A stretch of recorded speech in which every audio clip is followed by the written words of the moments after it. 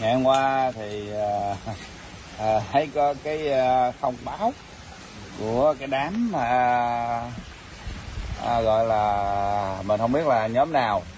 Nhưng mà thấy họ lại mượn danh à, giống như của Thiên Long Sơn.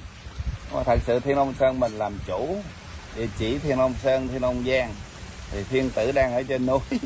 Mà thiên tử chả có biết là ở ngoài kia ở đường cái lông hổ nào mình không biết nhưng mà đó là nhìn là thấy biết rồi. Chủ yếu 50 năm mấy bác HO đi tìm thiên tử à, thiên tử qua đường ra Long hổ là để đưa thiên tử về Việt Nam để làm vua. Thiên tử đang nằm đây đây là thiên long sơn cái suối. Mà thiên tử chả biết có nghĩa là gì? Có nghĩa là tà. Cho nên à, à, tỉnh táo một chút nha bà con. Bắt chước trăng khuya không? Tỉnh táo chợ đầu tiên học được chữ này. Tỉnh táo tỉnh táo. Và thêm nữa là à, người nào á mà làm mấy cái gì á nó phải có tên và có địa chỉ. Để cho luật sư nó biết nó hỏi. Chứ còn đi đi đi giống như cái hãng Kenti sư phụ mà người đó dùng cái tên hãng Kenti sư phụ mà ra thông cáo này thông cáo nọ có phải là ảnh hưởng uy tín của Kenti đúng không? Ảnh hưởng uh, uy tín của thụ là luật sư nó hỏi thăm sức khỏe phải bồi thường nặng đó. Còn nếu mà mà mà để mà phỏng phỏng mà không có địa chỉ chẳng có tên à, phó sói nguyên sói thì nó ma sói luôn đi. Không tại nó dư cái chữ a phải không? Đúng là phải không có chữ a thì phải nói là ma sói. Thì ok cho nên chuyện nhỏ như con thỏ các hài tử đó là khi mà cờ tàn đó, nước tới cùng rồi đó cái ngày hôm nay đó, họ tìm đủ mọi cách để mà phá và xuyên tạc để cho hè thanh lọc hàng đệ tử những đứa nào mà lạc lòng tin á thì cứ đi xuống địa ngục chung với họ gọi là phá đạo. Những đứa mà phá đạo sẽ tiêu xác tiêu hồn bữa mấy vị nói thái tử chỉ sinh được ba lần linh hồn sẽ mất đi mãi mãi nếu mà tiếp đã là phá đạo gọi là phá đạo. Thí dụ như mình không tu thì mình không có tạo nghiệp mà mình không mình bỏ cha mẹ bỏ kinh thiên tâm bỏ đạo mà ngược lại còn phá đạo thì tội rất là cực kỳ đại tội. Thì từ bi thì nói mấy lời. Chứ uh, mà xưa nay ở ngoài kia cũng chả ai biết được cái long hổ là cái gì. Thật sự về tâm linh những người có chân mệnh đều có câu thông với bề trên. Câu thông có nhiều loại thần thông lắm. Sư phụ có cảm ứng thông thiên nhãn thông thiên nhĩ thông thiên khẩu thông. Còn đường cái long hổ là để về phần chính trị cho những hồn thiên sông núi. Những uh, bác ho những người bình thường không có chân mệnh. Cũng nếu mà sư phụ xin cho người nào để xin và xin cha cha phải đồng ý nha. Đường cơ nó cũng như một cái website riêng của ông Trump vậy đó, không ai vô hát được. Chứ không phải như cơ ma, cơ quỷ ai cũng vô được. Thì cái này đặc biệt là chỉ có phải cha đồng ý. Thì cái bác đó đó sẽ tự nhiên nhận được cái điển và chạy được. Để mà nhận được những chỉ thị và những lời của bề trên dạy bảo.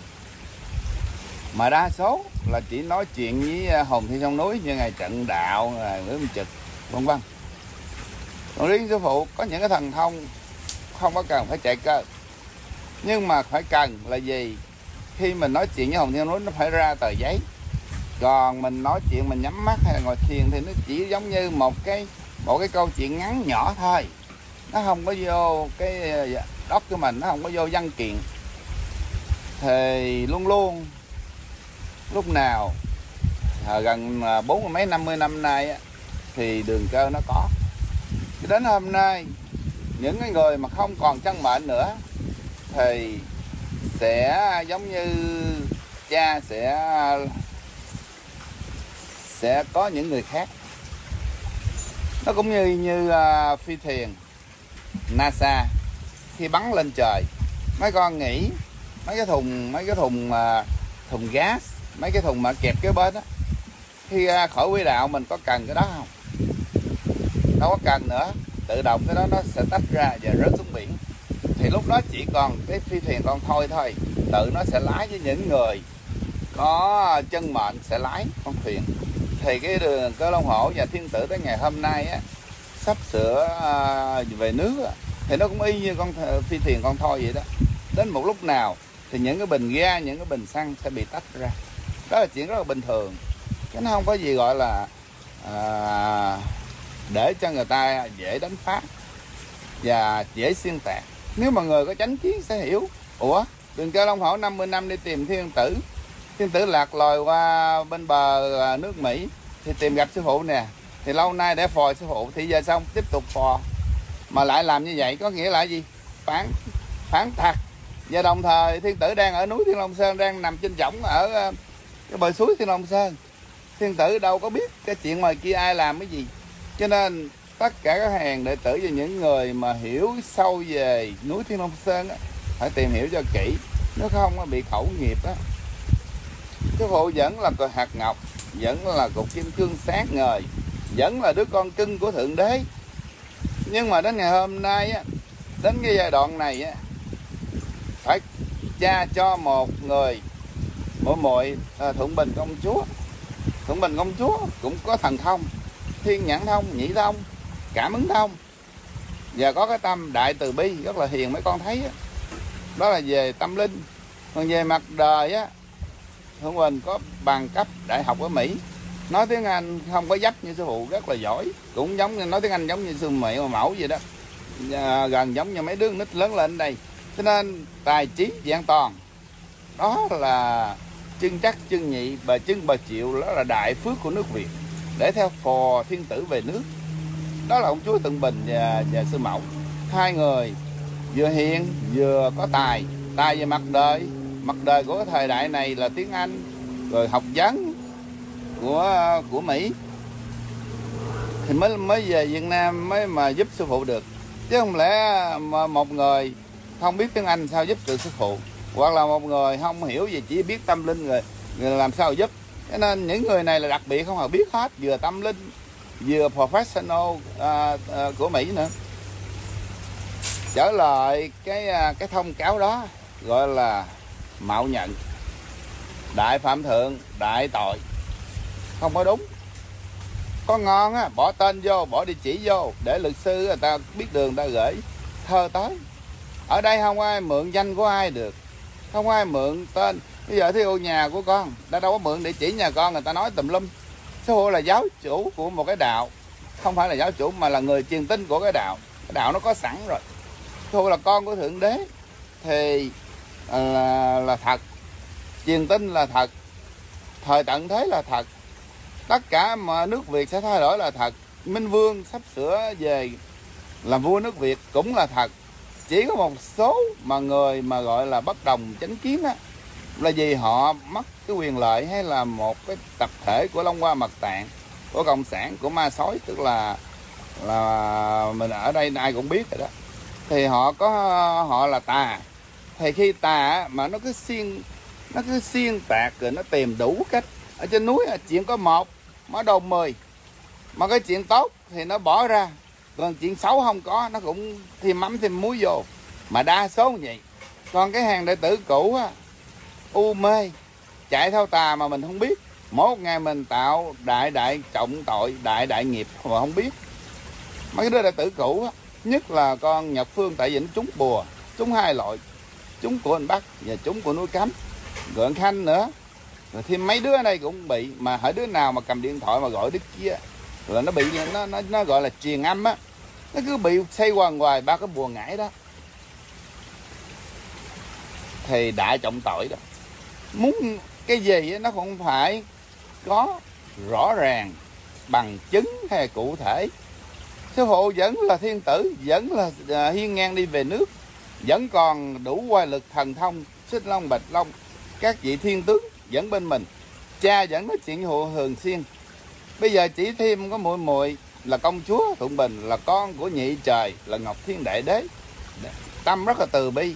Cha bắt cha phán xuống ba đứa tức là thiên nhãn tức là sư phụ. Quyền châu công chúa tức là sư mẫu. Thượng bình công chúa ba người phải thề.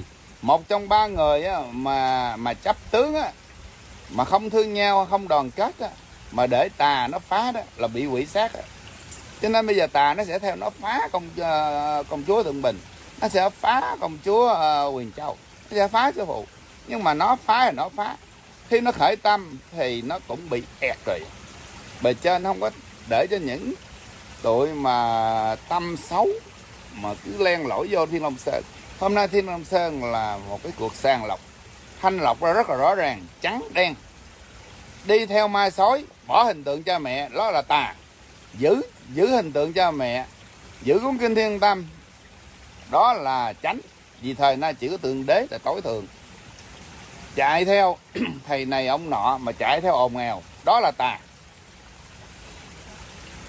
Hàng đệ tử đã từng có duyên đó, thì họ đã bị mất duyên rồi. Mấy vị nói khi mà đi quá xa rồi á là sẽ đi mãi mãi. Cái linh hồn nó cũng vậy đi mãi mãi mà họ không có biết. Sư phụ ngày xưa giàu sao cũng tình nghĩa thầy trò đâu có dạy sân si đâu. Đâu có dạy xỉa sói đâu đâu có dạy xuyên tạc đâu. Mình không thích cái gì á thì mình phải chờ coi phải bình tĩnh lắng động nghe. Chứ không phải mình nghe một cái cái mình ao ra mình chửi. Tu hành chiếu gì kỳ vậy? Diện chưa có biết trắng đen rõ ràng gì hết. Ở trên núi người ta chỉ nói một ở dưới nó đồng mười. Rồi cái lên mạng nó chửi. Mà ở, đó, ở bên đây á đưa em miếng nước uống. Ở bên này đâu có cần phải thảy qua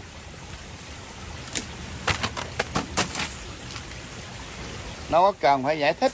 Tại khi giải thích á, nó sẽ rồi con đừng đứng ở tay tay nó nó nó nó ok đi lên đi.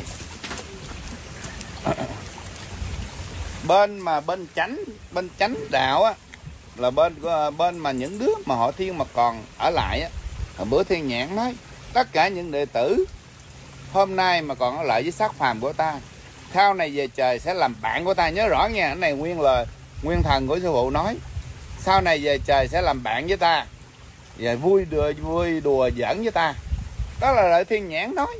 Sư phụ nói là thiên tướng kiệt, thiên nhãn là là là là nguyên thần của sư phụ, lúc nào cũng bên cạnh sư phụ, hai là một một là hai. Thì thiên nhãn nói, những đứa đệ tử mà hôm nay sau sàng lọc mà còn ở lại với ta thì sau này về trời sẽ được vui sướng cùng với ta. Đó là nguyên nhân của của của ngài nói như vậy. Thiên nhãn là ai? Thiên nhãn cũng là sư phụ á. Cho nên nếu mà những đứa đệ tử mà còn ngoan cố á, mà không có hiểu trắng hiểu đen mà ào ào ào á ào ào nó không có lợi gì đâu. Nó chỉ là náo động thôi nó chỉ quảng cáo dùm cho thượng bình thôi. Và sau đó khi mà mà giải thích rồi á, thì con người mình đã không còn giá trị nữa. Mình nói những cái lời không ai nghe mình đâu. Sư phụ vẫn còn. Tà nó nói đủ kiểu dù cho nói một câu thôi. Nó viết nguyên một cái thông cáo, tụi tà đó. Con đọc thấy gùng gợn đúng không? Nhưng mà sư phụ chỉ nói, tường cho tông hổ thật sự là 50 năm đi theo phò thiên tử mà hôm nay thiên tử chả biết gì hết. Thiên tử đang nằm ở núi thiên long sơn. Thiên tử đang nằm đây. Thì có nghĩa là ngoài kia có thiên tử mới đúng không? Chỉ đơn giản thôi. Nhưng mà trên đời này chỉ có một thiên tử duy nhất là sư phụ. Xuống hạ phàm xuống trần gian này. Sau đó là công chúa quyền châu là người thứ nhì. Rồi sau đó có công chúa tận bình. Một người giống như um, à, lo một việc việc nhà việc nước. Sư phụ phải đi đông tây dẹp bắc sau này sư phụ là nguyên thủ quốc gia đi khắp thế giới. Thì công chúa thường bình sẽ theo sư phụ kế bên. Lo này, lo kia. Bây giờ cho một ông già 90 tuổi đi theo sư phụ, lo được cái gì? Đến một lúc, chiếc phi thuyền phải tách cái bình xăng ra. Chỉ còn lại cái à, cái phòng lái lái trong cái quỹ đạo, lái cho nước việt. Trở thành một nước hùng cường và mạnh đâu phải dễ lái đâu. Một mình sư phụ đâu có làm nổi đó là chị nói những lời chân tình hôm nay. Tại ngồi ở đây à, là thấy dòng nước chảy suối cũng đẹp. Mấy cái này không cần giải thích. Nó chuyện nhỏ như con thỏ cho nên không cần phải lên mạng clip à, gọi là chính thống hàng tuần thứ bảy giải thích. Chứ còn nói chơi chơi vậy rồi mấy con bỏ lên. Còn những người nào á, mà hồ đồ gọi là cái tâm trí còn thấp á mà cứ chạy theo à, gọi là đám đông này nọ đó thì hồi xưa Phật có nói, ở dưới cầu á, tụi nó kéo theo cũng đông lắm á. Như nào Phật chỉ giải thích sơ sơ nó nhiều quá hay. Tóm lại cái đó giả mạo. Có ngon là có tên, có địa chỉ. Thì để luật sư nó gửi địa chỉ về nhà nó hỏi. Không ai mượn danh của ai mà muốn nói này nói kia, mượn danh núi, mượn danh thiên tâm. Phá phá rối kiểu này đâu có được. Ok bye bye chào.